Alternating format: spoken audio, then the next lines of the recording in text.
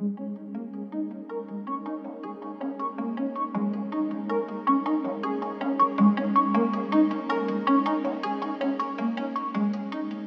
name is Amy Ely, and I'm the Director of STEM at Detroit Catholic Central High School.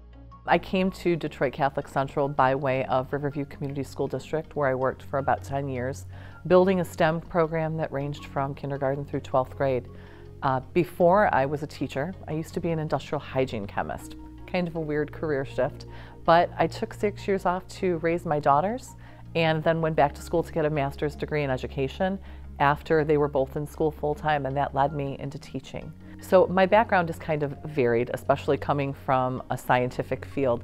But I did educational outreach when I worked at BASF Chemical Corporation. So I really enjoyed getting in a classroom with kids and helping them learn about chemistry and the environment and things like that. And that was before I even had children of my own.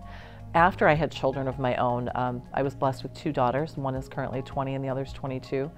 Uh, they're both gifted, and helping to teach them was a passion of mine. I was volunteering a lot in their classrooms. I was doing science labs with all the science classes. I was helping kids with reading, and I realized when I did go back into the workforce, I didn't want to go back into a laboratory. I wanted to go back and work with kids and make a difference. My journey brought me to Catholic Central because I realized after a long span in Riverview Community School District, um, I was getting married and I was moving an hour away and that wasn't something that I wanted to do. So I decided to start diverging my interests and looking elsewhere and Catholic Central contacted me about the Director of STEM position and it was like an answer to my prayers. The anticipation is growing for the conclusion or the finish of the build of the George and Mary Turek Hall of Science. It is going to be a structure like you've never seen, and we are going to fill it with brilliance. Between the students that are in there to learn and the educators that are there and excited to teach, the facets that are going to be available in this space are second to none, not even at university level, ranging from our four meter Observadome telescope to our Redbird flight simulator, eight dedicated science labs, innovation labs, augmented and virtual reality, 130 seat, 270 degree view immersion theater.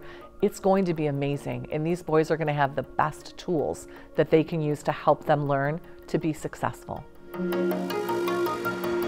When you bring kids in and you teach them something that they're curious about and that they're innately curious about, not just because a book tells them they need to learn it, and you have a teacher doing it that's passionate about what they teach, you are best preparing them for their future because right now we don't know what careers are going to exist when these boys not only leave Catholic Central, but when they leave college or post-secondary education. So what we can best do for them here at Catholic Central is give them the most cutting edge technology and put them on the forefront of their learning to help them be the most successful person they can be.